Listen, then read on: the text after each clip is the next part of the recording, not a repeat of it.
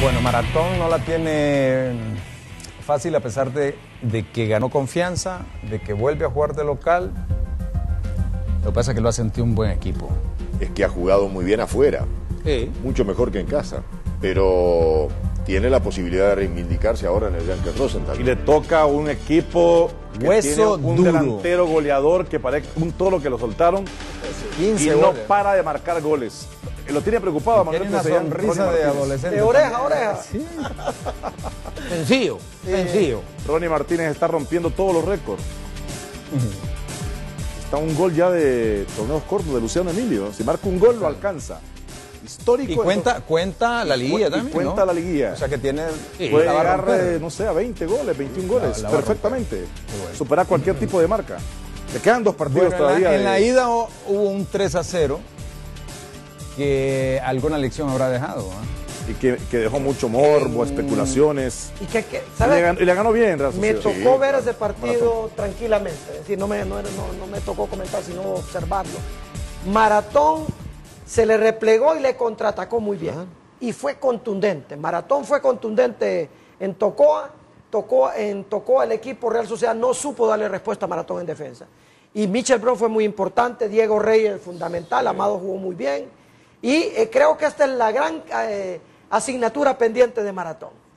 Es cierto que le ha ganado el Olimpia muy bien, pero en su campo, y aquí estaría ya salvando prácticamente Y la gran asignatura de Real Sociedad De Real también, Sociedad porque también. nunca cayó tan estrepitosamente como en ese partido y en casa, y también quiere, quiere luchar. Es que aquel partido que despertó tanta suspicacia como el de reciente Olimpia Maratón, Maratón lo planteó de una manera muy prudente, conservadoramente, incluso para no extenuarse físicamente con la temperatura de Tocoa. Y como decís tú, lo contragolpeó y, y- y le metió Le tres ganó. goles. Tiene que revertir Le ganó esa- bien. mucha presión la de la de Maratón, no ha sabido manejar la presión en San Pedro Sula, no sé si es la presión de ellos mismos, toda la presión eh, exógena que tiene este equipo, la parte externa, los medios, el público, porque ninguno de los estadios ha podido Maratón ganar partidos, le cuesta mucho ganarlos, le ganó a Victoria, ya a cuentagotas, ha ido ganando partidos.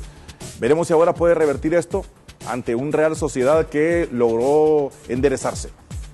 Y va. Hubo un momento, Sí. un mal momento después de esa caída con Maratón y ahora está nuevamente enfilado. Es que le dolió mucho a los jugadores, en fin, una cantidad de comentarios, pero ojo, Real Sociedad y Real España van a jugar con el resultado conocido del Olimpia. Yo tendría Sí. mucho cuidado con el contraataque de Maratón. Sí. O sea, no es un partido que tú dices, yo me voy a eh, enfocar mucho en el ataque y el equilibrio defensivo no me interesa mucho. Creo que para a Maratón en este momento hay que saberlo atacar, pero también tener buen equilibrio defensivo. Nahum, ¿qué es una de las cosas más difíciles Sí. que hay, Foncho, disculpa, más difíciles. ¿Por qué? Porque el campo se estira y en eso es una cuestión de espacio. Y Maratón, si tiene características de velocidad, como Diego, Michel sostiene bien el balón, Amado es un buen pasador. Si encuentra, no sé, Amado si va a jugar, si no, Emil. si encuentra un Si posible no, logra, pasador. pero si no logra Maratón contrarrestar el circuito que establece César Celaya, es lo que tema. hace Melgares y la definición que está teniendo Ronnie Martínez, va a tener mucho problema. Maratón se ha visto bien vulnerable en varios partidos. Maratón puede Elkin clasificar. González Ah, no. Elkin González Claro. Maratón puede clasificar, pero ¿a qué debe darle preferencia a Maratón? A salvar la categoría. ¿Cuál es el primer objetivo? Salvar la categoría y clasificar porque puede clasificar. Y claro. O sea, no sé a dónde estará el control mental. Puede salvar No, la es categoría. una cosa sencilla, Foncho, te la Sí, cuento. no, Me por eso- por eso te- me te- tocó vivir esto a mí en algún momento y te lo voy a decir. Tú te enfocas simplemente en el partido, tienes que ganarlo. Ok. Ganando tú consigues su objetivo primero, ¿cuál es? Salvar la categoría. Y ganando consigues El otro, sí. Así que no hay que darle en la mente, porque en esto hay que tener cuidado a nivel mental, de enfocarse. Sí. La concentración es fijarla a nivel mental, fijar la mente en una sola idea. Es decir, no puede estar pensando mucha situación. ¿Cuál es la idea? Es como efecto dominó. Así es. Logras un objetivo primario y, y te derrama a los, a los otros. ¿no? Ya de hecho está quinto Maratón. Así es. Sí. Fa- sabio, cómo se ha complicado, sabio. Solo. Muchísimo. Se le fue la, se le fue la. Es es el que tiene más, para mí, el mayores posibilidades de descender. El sabio perdió la oportunidad. tenía Es el esa- favorito. Es el favorito número uno para mí. Ahora, ¿cómo está Platense? Platense está todavía eh, complicado porque ocupa un punto. Aunque sabemos que Memo, motivación de los Memo jugadores. Bernardes pedirle un punto a Memo Bernardes no es mucho. Pero esa es la teoría de- del Coco González, le puede salvar, fíjate. Que con dos empates se salva. El rey de los empates. Con un punto, Nueve- ahora más nueve que nunca, empates. ocupa un punto. Lleva Ocupa nueve empate. empates. Diez creo que lleva. Diez. Nueve lleva. Nueve. Bueno. Empata partidos, eh, muchos en 0 a 0. Lo que pasa es que el, el empate no es tan bueno para Sabio. el Sabio necesita es ganar. dos puntos. Termina en Tegucigalpa Sí, contra cierra Olimpia. contra Olimpia. Para Sabio, la permanencia, para mí, depende de ganar en Cortés. Sí, tiene que ganar porque el empate lo mantiene último. Aunque pierda Aunque pierda más, sí, se ma- se mantiene. Entonces debe ganar en Puerto Cortés.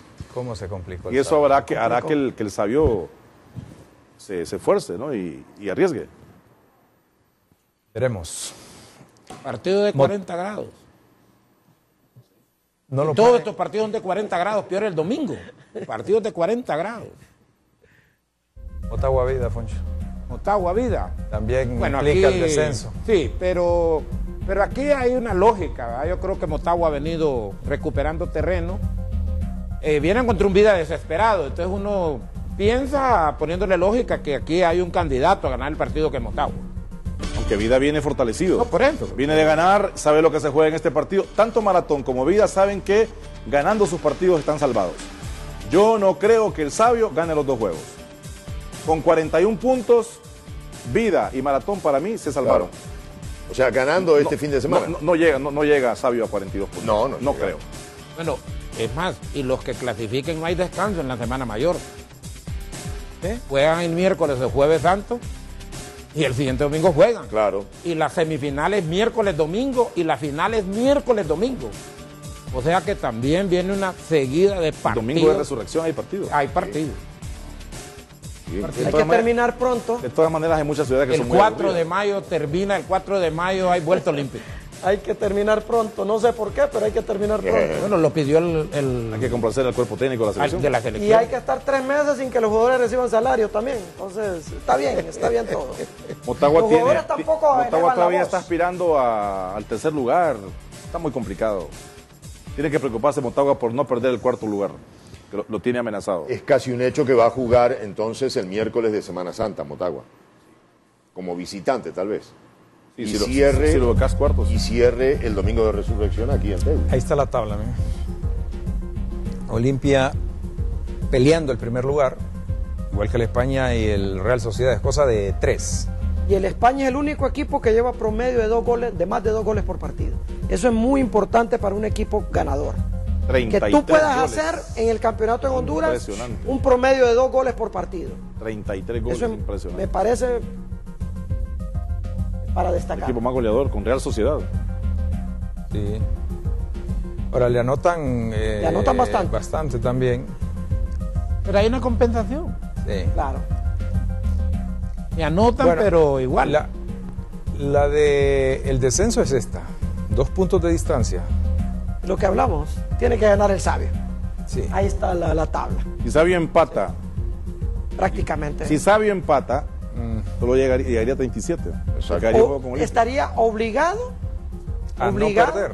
A, no, a no perder en Tegucigalpa, dependiendo, güey, por No, supuesto. no, porque si gana Maratón y Vida está ese. Sí, ya bueno, está descendido. Ok, por eso.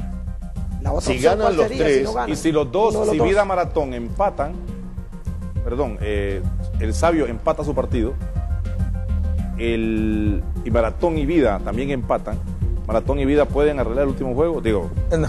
Jugar a Sí, compadre a hablado empatar. y descender al Sabio. No. ¿Y, ahí, ¿y qué pasa si le sale que, que el sabio gana? Si empata. Sí. Ah, eso es lo que pasa. Y, y si es el mismo horario, que parece, y voy a comentar algo acá, eh, cometió un error la liga, retrocedió la liga en las últimas dos jornadas. Otras veces la- las dos, Retrocedieron, las dos jornadas, Foncho. Sí, es cierto, es cierto. Pero ahí lo que habría sería un triple empate, Es bueno. porque el Maratón y Vida llegarían a 39. Ah, pero llega una y si- si, triangular. el, si el último juego, el último partido, ¿a qué jugarías? Ah, bueno. Pues. Ah, p- p- ponele que ponele que las circunstancias hagan que Vida y Maratón empaten en esta jornada y hagan 39 y Sabio gane y llegue a 39 y, y en la última jornada Vida y Maratón en su partido No, te, empatan no, y yo te Sabio decía, empata. no, no, si Sabio empata te decía. No, si Sabio gana, Sabio lo, Sabio lo alcanza. ¿Qué ahí pasa, Foncho, si hay triple empate en el Eh, hay una triangular. triangular? Una triangular. A vuelta, a una A sola una vuelta. una una sola ronda. Una sola ronda. Sí, son Si dos partidos cada uno.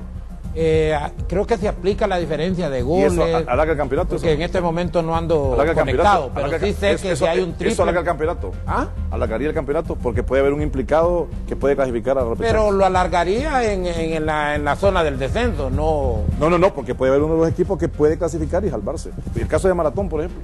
Sí, Sí, Bueno, bueno, esa es una eventualidad. Tipo federal. Es correcto. como el federal. Como el federal, es correcto. Óigame, eh, no, y ahí no no- habría, no puede ahí no habría más que. eh, Papelito no no, va. puede arrancar la otra etapa. Quedó eliminado el papelito. No puede. Bueno, se supone, ¿va? Porque Sí, de repente pero- aparece. Papelito. sin papelitos. Sin papelito. Por favor.